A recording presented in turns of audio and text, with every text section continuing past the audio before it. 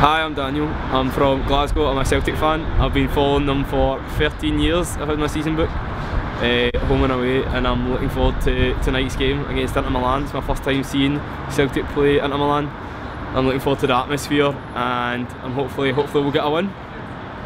Um, How many um, people do you think? Uh, what's the attendance uh, tonight? the attendance should be about 60,000 and it's full full crowd. Uh, the atmosphere should be amazing and it's not been like that since last season, over a year in the Champions League. So it's going to be probably one of the best nights of the year and I'm looking forward to it. What about in the stadium? You're you gonna be tonight? Uh, in the north stand, uh, about actually 16 rows for the front. So hopefully taking in the atmosphere and hopefully a couple of goals. You got loads of mates there. Uh, I go with my dad. Okay, cool. Um, he's the one that got me in it. He's been following Celtic for over 40 years, uh, and he got my season book way back in fir- 13 uh, years ago, and I've been Does it home and away ever since. Does it run in the family sort of thing? yeah, big Celtic family. Everybody in my family Celtic. No Rangers. Cool. Thanks.